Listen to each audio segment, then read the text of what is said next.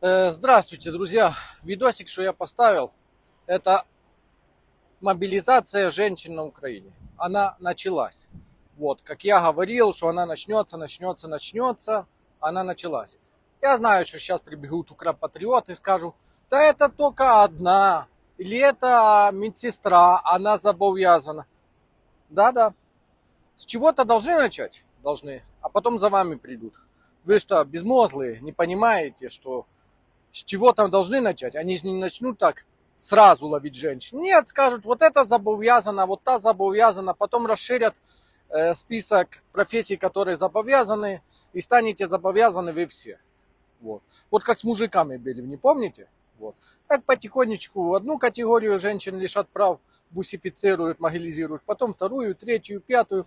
Ну, приблизительно будет развиваться, как я и говорил, что Зеля э, в руки автомат не возьмет. И ТЦК тоже. Они будут до последнего украинца там грызть, рвать, э, пытаться мобилизировать, могилизировать. Все, как я предупреждал. Когда я говорю, люди, уезжайте, нету больше никакой Украины, нету, она кончилась. Вот. Еще в 2014 году такое государство или недоразумение, как Украина, она закончилась. А сейчас это просто кровавый режим комнатного диктатора, который будет уничтожать во всех. Вы можете этому верить, не верить, принимать реальность, не принимать реальность. Это дело ваше. Но тут самое главное факты. А факт заключается в том, что уже есть женщина бусифицирована.